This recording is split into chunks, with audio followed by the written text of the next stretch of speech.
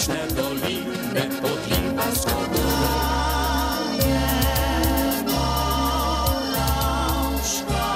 Moravče so najlepše, tudi dobre so ljudi.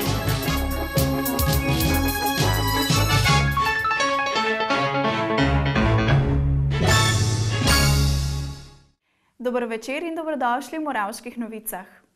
Najbolj vroča tema trenutno v Moravčah je sanacija opuščenih peskokopov podjetja Termit.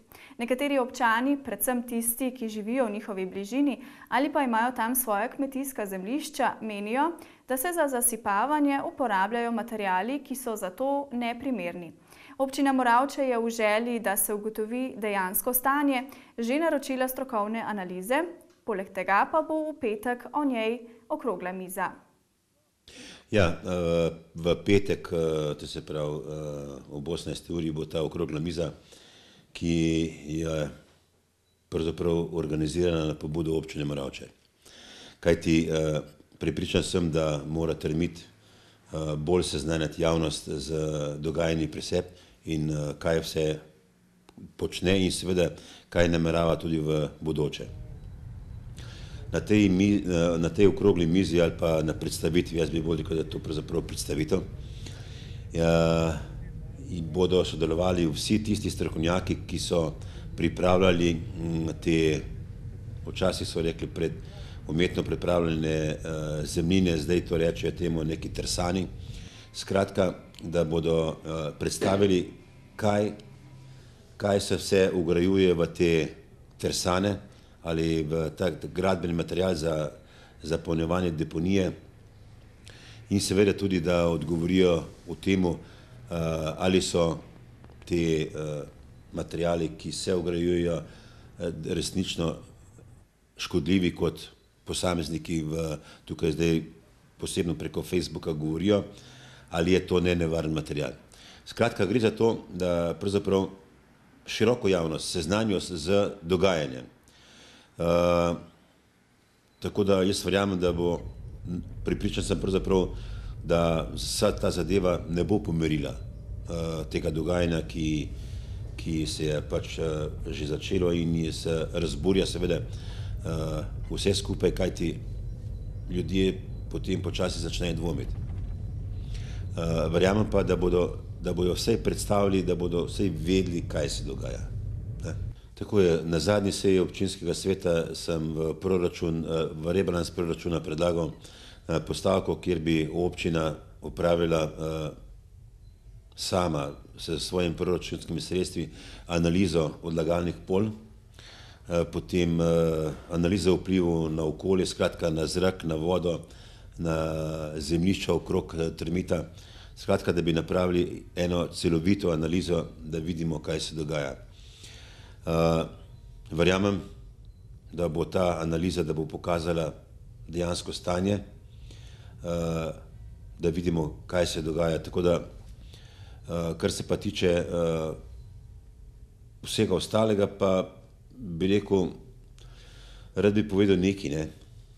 da občina sama, pravzaprav pri izdajanju dovoljen ali kakorkoli pri ugradnji, pri zapiranju teh deponij, ne deponi, uh, zapiranju, odnosno sanaciji teh izkopov, nima nič, ne, kajti to je stvar države, vendar glede na to, da so se pač pojavili dvomi, da inšpekcijske službe in vsi organi na nivoju države uh, delo ne izvajajo korektno, uh, je občina šla v ta, v ta postopek in ko bo postopek končan, bomo v kulturnem domu v, pred javnostjo, seveda za tistimi strokovnjaki, ki bojo tudi upravili vse te analize, predstavili eh, rezultate.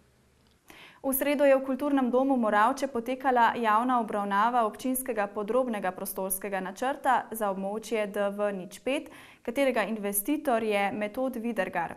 Obravnavano območje predstavlja kompleks nepozidanih stavbnih zemljišč, za katere se načrtuje celostna ureditev v skladu s slovenskimi in mednarodnimi standardi za načrtovanje oziroma registracijo autokros prog.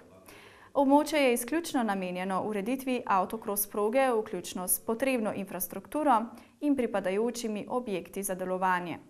V primeru ukinitve avtokros proge, spremembe namenske rabe v ostale stavbna zemljišča niso dovoljene oziroma območja ni dovoljeno uporabljati v druge namene kot za šport in rekreacijo.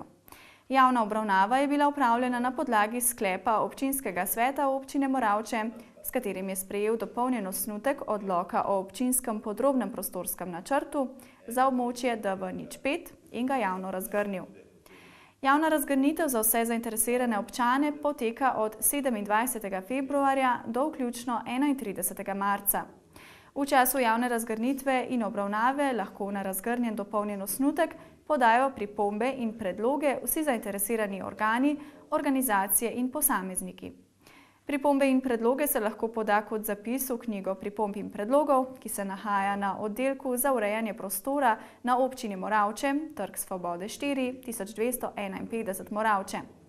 Ali po pošti na naslov občina Moravče, Trg Svobode 4, 1251 Moravče s pripisom pripomba na javno razgrnitev DV05. Rok za odajo pripomb in predlogov k razgrnjenemu dopolnjenemu osnutku poteče zadnji dan javne razgrnitve.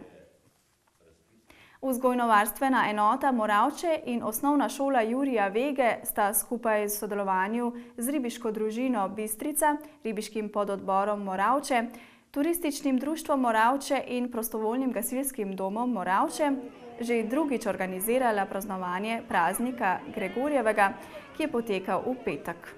Otroci starši so se zbrali pred vrtcem in se skupaj peš odpravili proti ribnikom v zalogu. Pri ribnikih je vse pozdravila ravnateljica Nuša Pohlin Švarcbartel. Sledil je kratek kulturni program. V njem so nastopili otroci drugega starostnega obdobja v zasedbi zbora Moravški palčki. Zapeli so dve ljudski pesmi.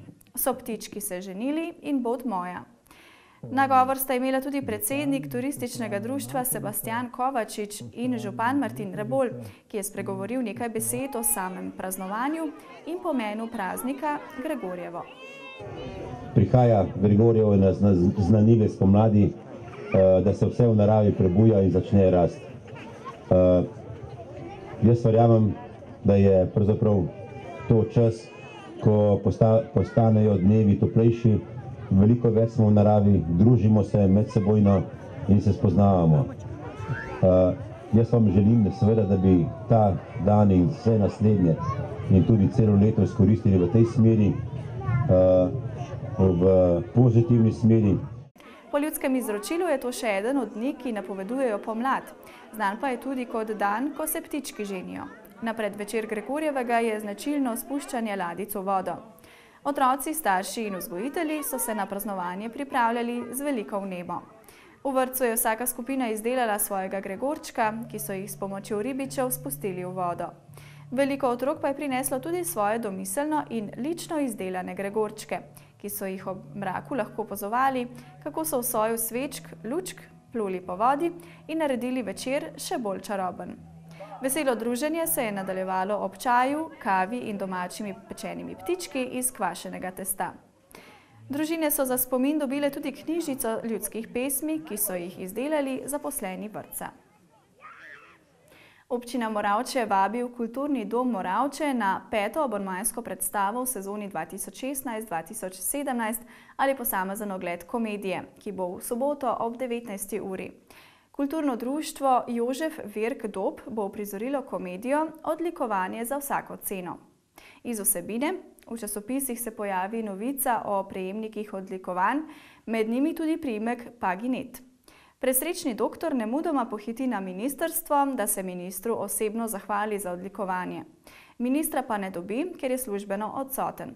Ko se vrne domov, izve, da bo zaradi njegovega druženja z opozicijskim poslancem odlikovana njegova žena. Tega ponižanja ne more prenesti in še naprej išče način za prejem odlikovanja. Vstopnice bodo na voljo pol ure pred predstavo v kulturnem domu. Društvo krajanov Limbarska gora vabi na tradicionalno prireditev 29. pohod po nagelj na Limbarsko goro, ki bo v nedeljo. Prireditev je umeščena na nedeljo med dnevom žena in materinskim dnevom in je rekreativno-športnega ter zabavnega značaja. Za najbolj zgodnje bo ob 9. uri Maša v cerkvi svetega Valentina. Ob 11. uri bo sledil kulturni program. Pridite po svoj nagelček in preživite tretjo nedeljo v marcu v prijetnem druženju v naravi in med prijatelji. Toliko za nocoj iz Moravč. Lep večer in lahko noč. thank you